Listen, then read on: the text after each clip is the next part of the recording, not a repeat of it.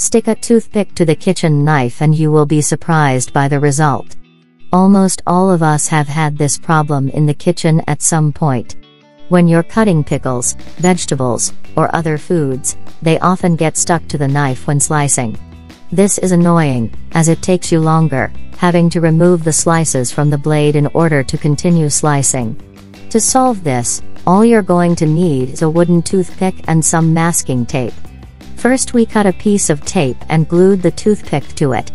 Then we adhere to the outside of the knife and that's it. At the time of chopping it will be much easier and nothing will get stuck again. Subscribe for more tips.